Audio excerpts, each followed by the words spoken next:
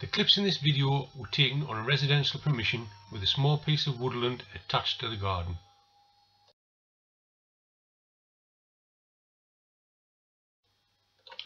It's still a good time to get out there and control some grey squirrel populations in order to help preserve our native bird life.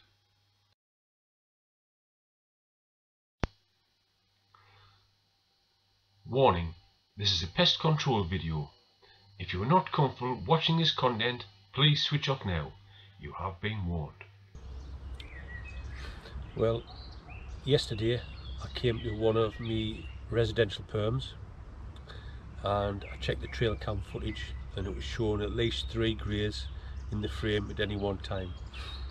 So yesterday I changed the feed where I've been using. I've been using whole maize and sunflower seeds but I got the chance of trying something new so I thought I would give it a go. It's called Chipmunk and Squirrel Mix. Uh, it looks quite good in the bag. It's got monkey nuts, peanuts in, sunflower seeds, bit of, bit of a few different things. So I filled this one up yesterday. I thought I would give it a go today. Um, before I started, I checked the level and there was at least two or three inches gone. So it looks like it's going to be pretty good for getting the greys in. Um, I've had one down already within about 20 minutes of settling down. So hopefully I'm going to get a few more. So as you can see that's what the mix is. So on Monday I went to one of my local permissions, uh, the feeder was empty.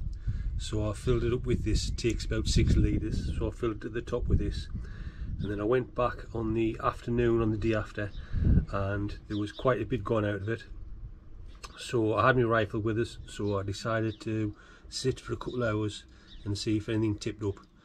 So what you'll see in the video is what I got on the afternoon and then the following clips were from this morning. So three on the afternoon and then 12 this morning. So this is the first of the three greys that arrived at the feeder on the afternoon session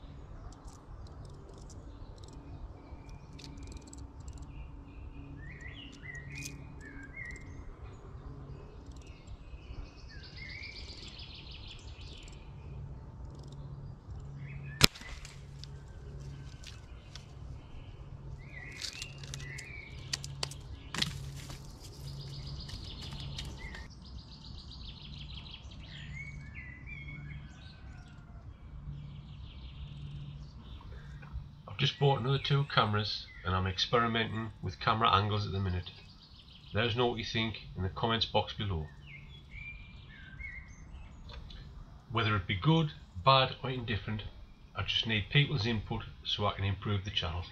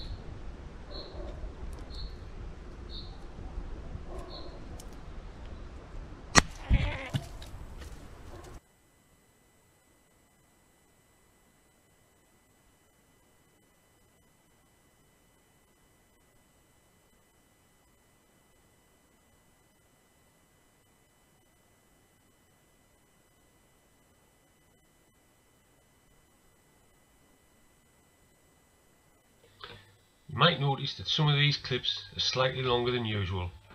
What I'm trying to do is show the behaviour that the greys are exhibiting both when there's dead greys underneath the feeder and when there's a lot of blood on the ground when the greys are being picked up. You will see some instances later in the video of where the greys are sniffing around the roots of the tree and that's where the greys have fallen previously.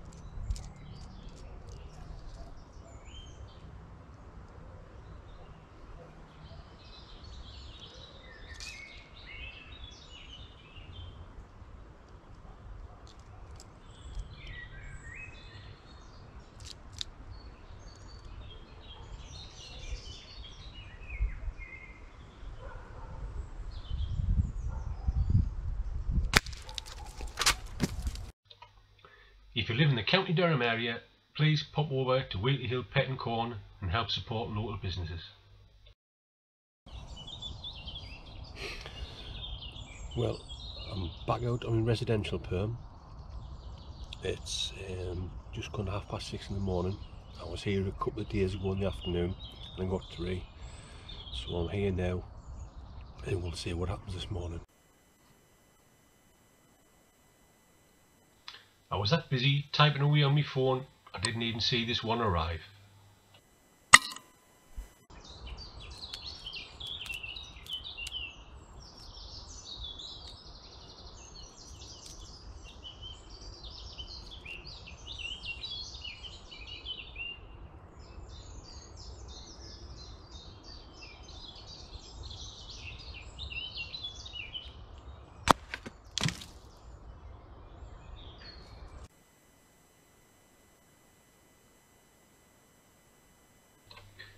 Is the behaviour I mentioned earlier on, where the grey squirrels are sniffing around where the greys have fallen previously.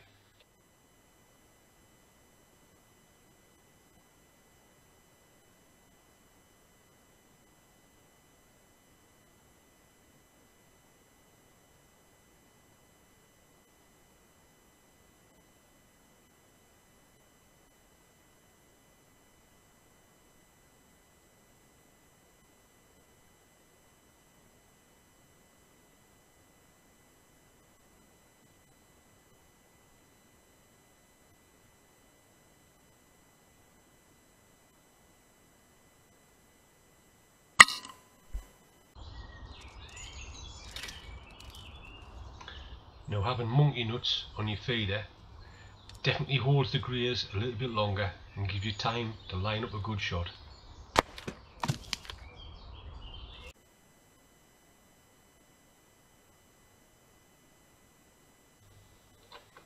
Now you can see how carefully these greys are coming down the tree. So I made the decision that after every third grey I would go out and have a quick pick up.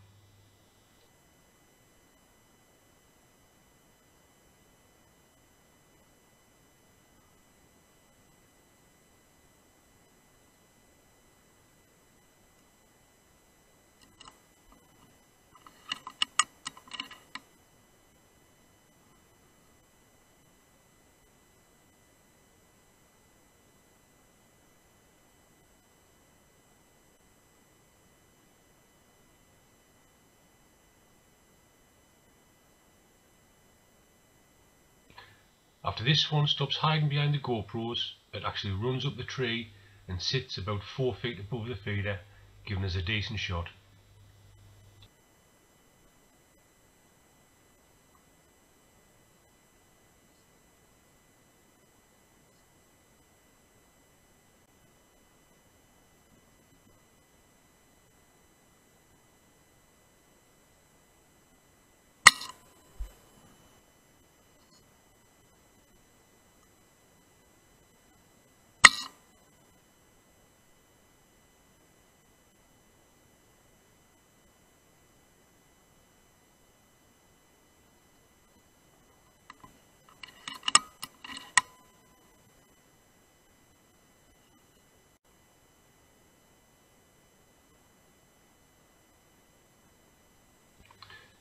I had to edit quite a bit of footage out of this one because all it was doing was hiding behind the remnants of some spring daffodils.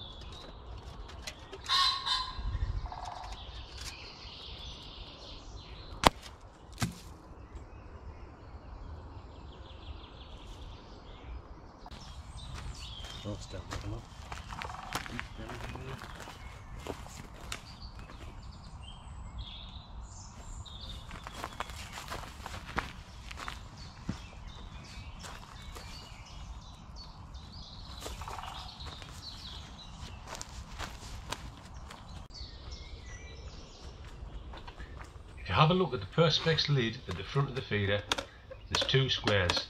These actually stick on wheel weights, which helps wear the lid down. Flipping the lid a few times sends out the noise that there's somebody on the feeder and this helps bring in the greys.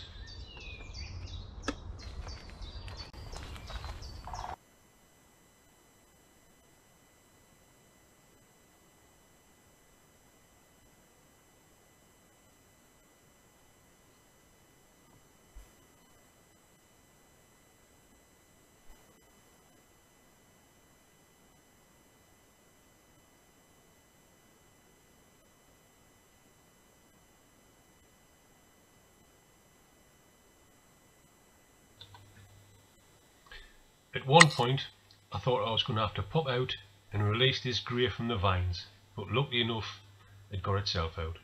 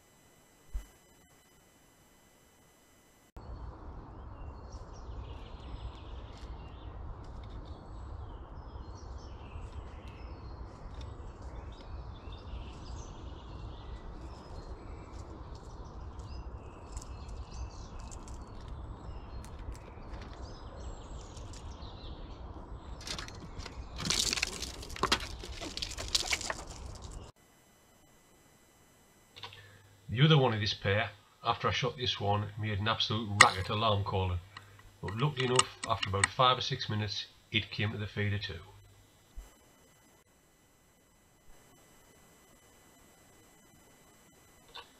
And here it is, checking out its dead buddy on the ground.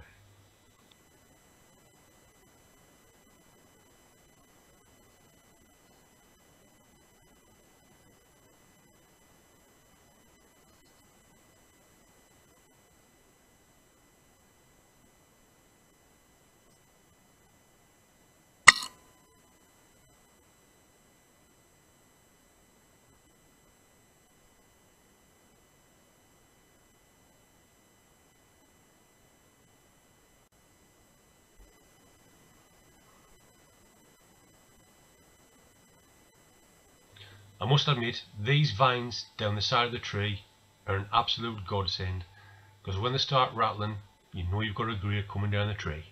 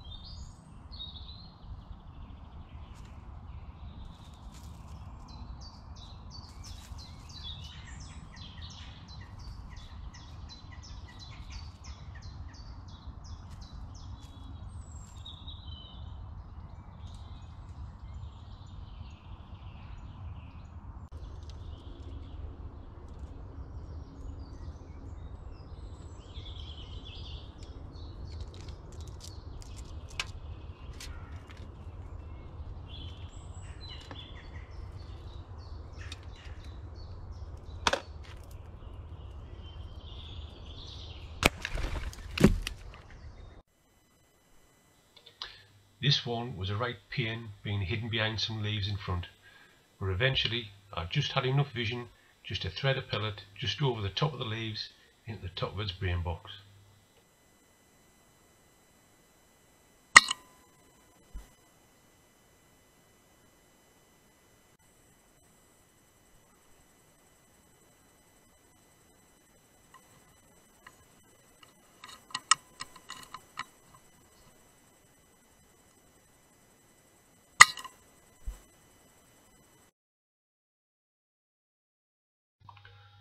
I hope you enjoyed watching the video and if you did please like, share and subscribe and put a comment in the comment box to help the channel grow.